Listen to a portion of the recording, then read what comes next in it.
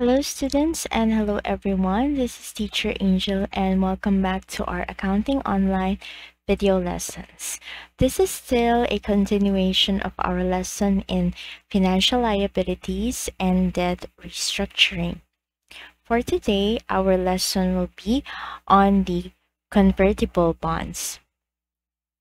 So what are convertible bonds? Convertible bonds are bonds that give the holder an option to convert the bonds into bond issuers' equity securities. An entity recognizes separately the components of a financial instrument that creates a financial liability of the entity and grants an option to the holder of the instrument to convert it into an equity instrument of the entity. What happens here is that, diba, when we issue the bonds, we are the ones borrowing from another entity. So our um, our role in the transaction is the borrower. On the other hand, sa pikas nga side or sa other party, sila ang lender in terms of the substance, but in form, it is recorded as an investment. If there is an option to convert the bonds into the bond issuer's equity securities, this means that ang investment na hold ni bondholder or ni uh, lender, makon pwede siya ma-convert into shares of stocks. What happens if i-exercise ni bondholder, bondholder slash the the lender slash the investor, what if i-exercise niya ang option to convert? So pag i-exercise niya, then the investment will be converted into ownership of equity securities. So from bonds, mahimo siyang investment in shares of stocks. From a lender or from an investor in bonds, mahimo na siyang investor in shares and therefore naa na siya ownership sa ako ang company wherein 'di ba ang ako ang personality adto is ako ang borrower. So naa na siya ownership of shares in my company if the bondholder will exercise the option to convert the bonds into shares of stocks. Again, ako ang borrower, ako ang my liability towards the bondholder. Remember, the bondholder is the lender or the investor, investor in bonds. So, if the bonds that I issued is a convertible bonds. So there is an option in the bonds wherein the bondholder can convert it into shares of stocks. So from being a lender or from being an investor in bonds, ma-change na ang nature siyang investment into ownership of shares of stocks. So therefore, mahimo siyang shareholder. He becomes a shareholder in my company and not only a mere lender or a mere investor in bonds. So, on my side, sa akong entity, I will recognize separately the liability and the grants that give the option to the holder to convert the bonds into equity instruments. So the total proceeds should be allocated to both the bonds and the conversion option using the residual approach.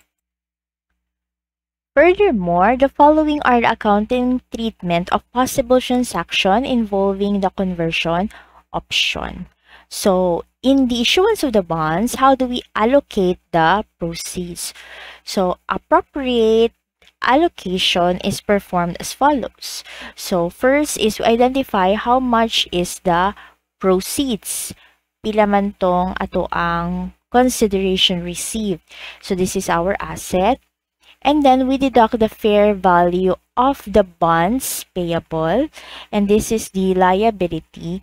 And the remaining amount after deducting the fair value of the bonds payable will be the amount that will be assigned to the conversion option which represents the equity. So to record the issuance of the bonds, we debit cash. Kaya diba, i-issue man natin ang bonds uh, na ay mo acquire ana ang uh, other party. Then, credit bonds payable at face amount and if ever uh, gamay ang consideration na na-receive, so there's a discount on bonds payable. On the other hand, if mas dako ang cash na na-receive kumpara sa face amount sa bonds, then credit premium on bonds payable. So, dili sila magdungan ha. So, depende sa case. Remember nga, discount siya, di ba? Discount. Okay, discount if the proceeds is lesser than the face amount and there is a premium if the proceeds is greater than the face amount. So therefore, you will record this one if this situation happens and you will record this premium if this situation happens. And as mentioned earlier, you have to separate the account for the grants that allow for the conversion. So that would be recorded as share premium conversion privilege. Now let's go to the retirement of the convertible bonds. Anyway, there will be an example later on on the um, issuance of the convertible bonds. So here we have the process on how we are going to uh, retire the bonds. But before the process, so we have to identify first the items that are important in the accounting for the retirement of convertible bonds. They are kind of similar with the retirement of the an ordinary nga bond but um, na may additional lang nga uh, i-take note. So first is what if we retire the convertible bonds prior to the date of maturity? So we have to determine the retirement price. Then also the retirement price applicable to liability, which is the which should be the present value of the bonds using the current rate. And the difference between the retirement price and the retirement price applicable to liability will be recognized as a change allocated to equity. So if it is an increase, then that is recognized as a share premium. If there is a decrease, then that is charged on the share premium conversion privilege and any excess, if any, to retain earnings. Okay, meanwhile, the difference between the ret retirement price applicable to liability and the carrying amount of the bonds on the date of maturity is recognized as gain or loss on extinguishment of bonds, which will be part of the profit or loss for the period. Then what if we retire the convertible bonds on the maturity date? There will be no problem because the settlement price and the carrying amount uh, are the same. Therefore, there's no gain or loss to be recognized. And then the share premium conversion privilege may be transferred to general share premium, which is uh, classified or recorded as excess over par. So the procedures in the retirement are as follows. So the same with the retirement of a regular or ordinary bonds, you have to compute the updated carrying amount as of the date of the retirement, meaning you have to compute the amortization up to the date of retirement so that our carrying amount will also be up to date. If we have the carrying amount, we're going to deduct that from the fair value of the bonds to get the gain or loss on retirement. So the difference again would depend on the, the, the gain, uh, identifying it as gain or a loss will depend on the uh, which amount is greater diba, between the two. Okay? So there will be no gain or loss on retirement of bonds on maturity. Next is compute for the increase or decrease in equity. Using this formula, the fair value of the bonds and retirement price applicable to principal. So you get the difference. It's an increase if positive, decrease um, if, if it is negative. So this is allocated to equity. Alternatively, the change in the equity may be computed as follows. You have decrease in uh, share premium conversion privilege, decrease in retained earnings, if applicable, increase in share pre premium excess over par, if any, and that would be your total increase or decrease allocated to equity. Step 4 is record the transaction. So first is kani mo gini siya ang present good sa entry. You have to close the bonds payable at face amount. Then you credit the cash retirement. This is your retirement price, how much you paid for. And then, if na ay existing a premium on bonds which has a credit balance, imo siyang i-debit okay, as premium on bonds. But it's not, um, it will not be uh, the case nga na premium o na siya discount kay only one naman na siya. It's either na siya premium or na siya discount. So, kung premium ang yang existing nga balance, so credit balance mo ng premium, so to close, you're going to debit the premium. On the other hand, kung discount siya nga transaction, discount po tang i-close. So, di ba, debit balance man si discount.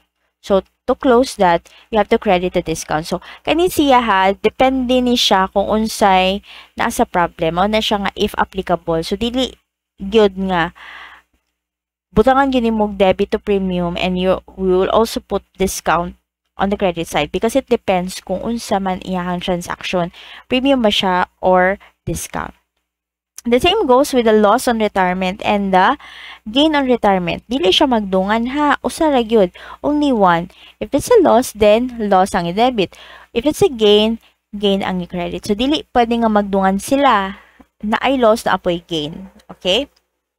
Then, debit the share premium conversion privilege. I-debit gini siya, di ba kay kauban man ni siya. This is, this was issued together with the bonds. So, credit man siya pag niagi. So, you're going to close this one. Share premium conversion privilege. After recording these, so kung ang balancing figure niya nasa debit side, then you are going to charge that against the retained earnings. On the other hand, kung ang balancing figure na sa credit side, ang imuhang i-credit share premium excess over par. Okay? So, not necessarily nga magdungan gina sila. Depende kung asa ang balancing figure, depende kung asa man ang existing whether premium or discount or loss na siya or gain. So PS32 states that on the conversion of a convertible instrument, the entity recognizes the liability component and recognizes it as equity. So, di ba, the liability nato will become shares of stock. So, i-issue nato ang shares. So, from liability, i-convert nato siya into equity. The original equity component remains as equity although it may be transferred from one line item with equity to another. Furthermore, the conversion shall not be accounted for as debt for equity swap in compliance with the requirements of IFRIC 19. So, dili daw na siya i-treat as debt for equity but a conversion. Okay? You change from uh, liability, i-change siya into equity. There are two types of conversion of bonds. Pwedeng regular conversion or it could be an induced conversion. What is a regular conversion? There's no gain or loss on conversion that will be recognized. Meanwhile, in the induced conversion, loss on conversion may be recognized but not gain on conversion. Okay, so what will be the accounting treatment for a regular conversion? So if the conversion happens on or prior to date of maturity, so whether sa'yo or pwede po siyang on the dot sa iyahang maturity date, same uh, same gapon ang items nga i-consider. First is you have to get the carrying amount of bonds on the date of maturity. And you also need to get the par or the stated value of the share capital issued. So if the sum of carrying amount and conversion privilege is greater than the par or the stated value, the difference is recognized as an increase in share premium. So if the carrying amount daw together with the uh, conversion privilege is greater than okay, the par value par of share capital. So this is the increase is share premium. So share premium ang recording. If otherwise, if bali, okay, if the carrying amount plus the conversion privilege is lesser than the par of the share capital, then there is a discount on share capital and this will be collected from the new shareholder. Okay, what will be the procedures? Again, you need to update the carrying amount of bonds by updating the amortization. So you have to uh, compute properly the carrying amount of the bonds. Next is record the transaction. Close first the bonds payable, kani siya, mandatory yun na siya. And then, you have to close the share premium convers conversion privilege. Kay i-convert naman siya, mag-exercise naman. Then, credit, okay, credit the retirement price, okay, and Do not forget to close the related premium or discount of the bonds. So kung premium ang iyahang uh, na-recognize upon the initial niyang uh, measurement, so i-close mo ang premium by debiting it because the normal balance of premium is credit. So by debiting it, ma-close.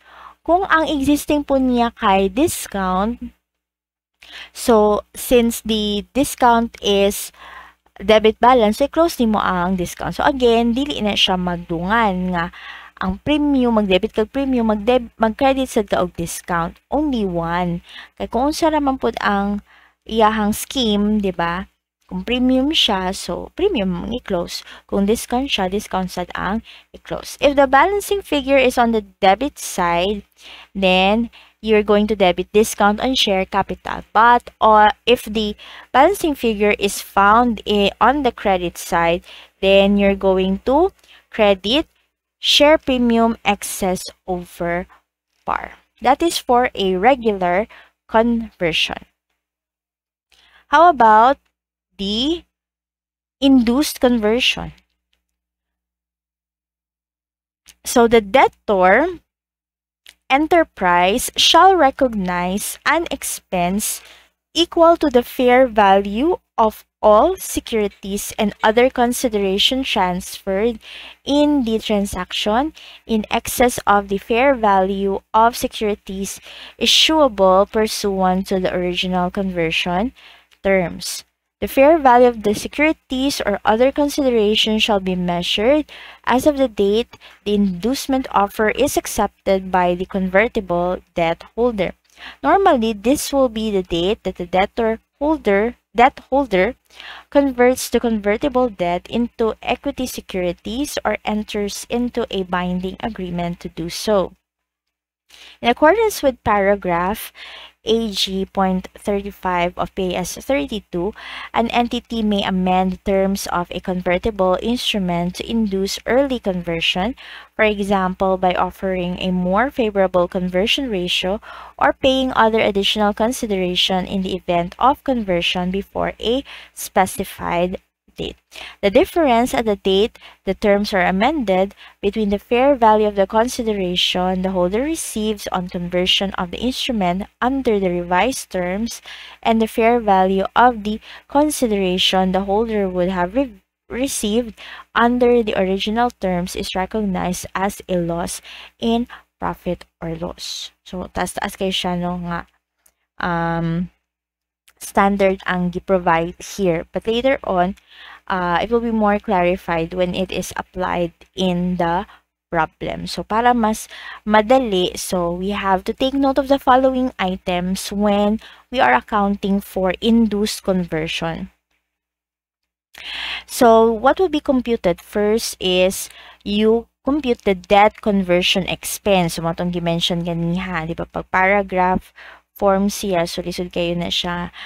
Um, at depende po, naman po ilisuran, naman po lisuran. Pero, mas dali yun siya pag i-organize siya into uh, simpler terms or it is presented in a simpler format such as a presentation of a formula.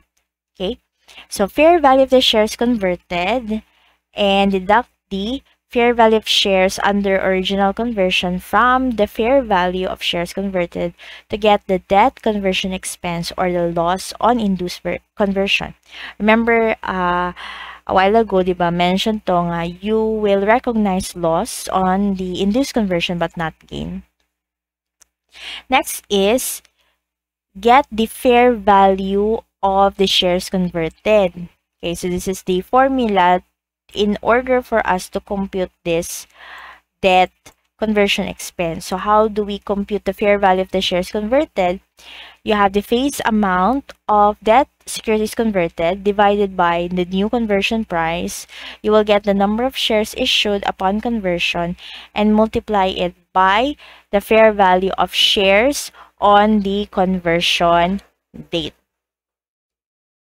Then to get this fair value of shares under original conversions, so we have here the formula. So you have face amount of debt securities converted divided by the old conversion price. So, ganihan, new kani old. So, you will get number of shares issued under original conversion multiplied by the fair value of shares on the conversion date. So, ang difference sa sa duha kaning silang duha is katong uh, gi-divide nga conversion price. 'Di ba? So kani sa imuhang uh, item here sa katong converted, fair value of shares converted, new conversion price ang gamit.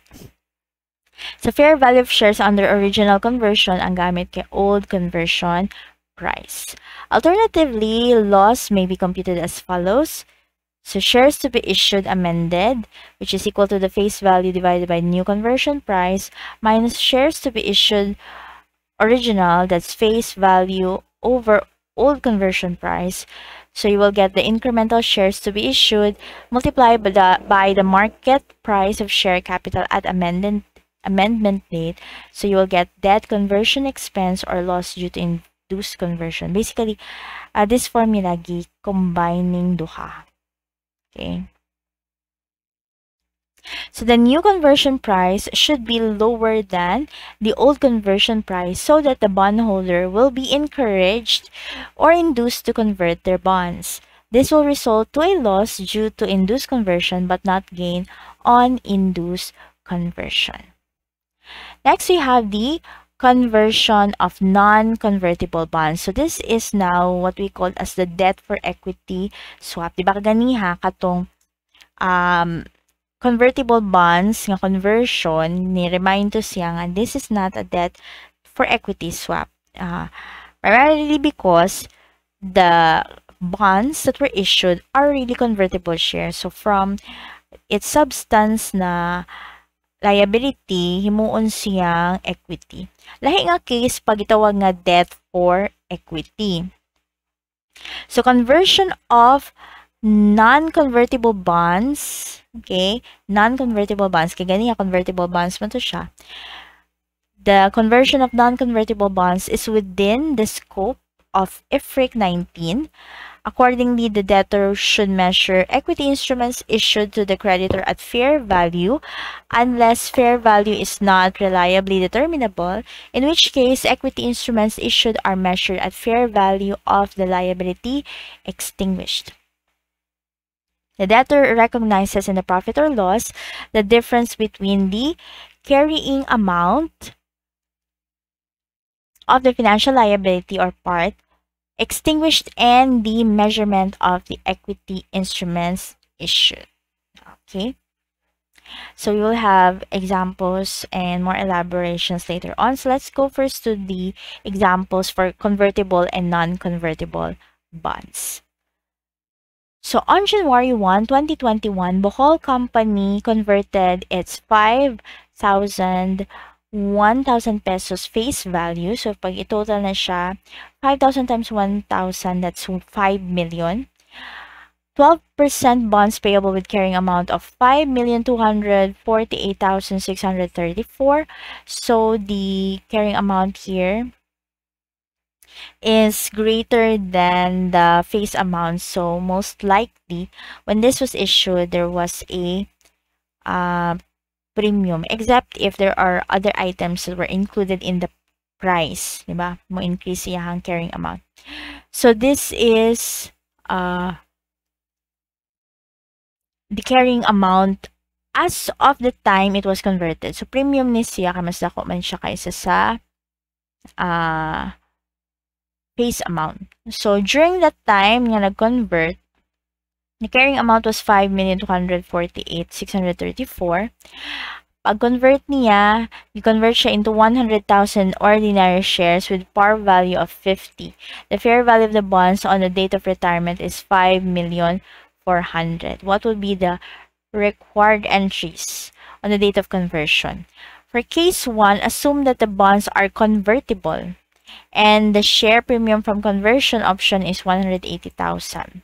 Case 2 is what if the bonds are non-convertible. Therefore, this is a debt for equity swap. So for the first requirement, okay, so what would be the entry? Close the bonds. Okay, so kani siya, mandatory yun ni dapat yun i-close si bonds. And then close any related premium or discount. So, ingon ako ganiha, mas dako man sa, mas dako man ang carrying amount kaysa sa face amount. So, na ay premium. So, pila may premium katong difference ani nila 5 million and 5,248,634. So, the premium is, uh, sorry, 248,634. Okay, premium kanin siya. Premium on bonds payable. Kinahanglan yun na siyang i-close. Then, ingon diri that the premium from conversion option, the share premium from conversion option was 180,000. I-close po na siya. Kaya kung ma-close na si bonds payable, niya kani kay nag-uban-uban man ni siya, apilon po na siya o close. Then, credit ordinary shares, issue the shares, so sa itong ingon, 100,000, multiplied by the par value of 50. So, that's 5 million. Okay? And then, credit share premium. How much is a share premium? So, mo ni siya ang iyahang balancing figure. 428,634. Walay gain or loss if it's a regular conversion. What if it is a uh, non-convertible nga shares? Ah, sorry, non-convertible nga bonds eh. So, what would be the entry? Okay? Now, uh, compare ang duha. Close the bonds payable. Again, that's mandatory. Close the premium, same amount. And then, credit the ordinary shares. Still, that's 5 million. And then, we have to get the gain or loss. And also the share premium. Okay, so the gain or loss here, I sorry, um, ang loss, di ay loss naman ang i-recognize sa induced okay, I, no, this is not an induced eh. Regular conversion naman is siya. So what will be the um, gain or loss on settlement. So you have fair value of the liability is 5,400,000. Okay, di sa na siya. So based on this data, and then carrying amount of the bonds, 5, 5,248,634. So loss on settlement is 151,366. Since this one, this amount is greater, this is actually 5,400,000 kung isum up versus 5 million. So ang balancing figure sa credit side would be the share premium equivalent to 400,000. You have to take note that if the problem is silent, the bonds payable are assumed to be non-convertible. Okay, next we have the induced conversion. So, si induced conversion, tong, uh, ano to siya? Only loss, right? Ang i-recognize, okay, but not gain. Okay.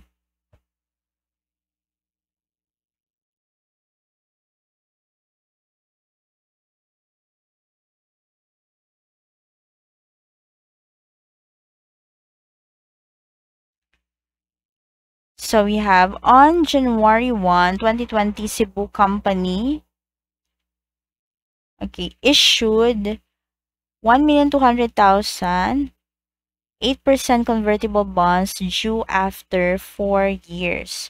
The bonds were sold for 1,123,910 and are converted into 10 peso par ordinary shares at a conversion price of 25 pesos per share.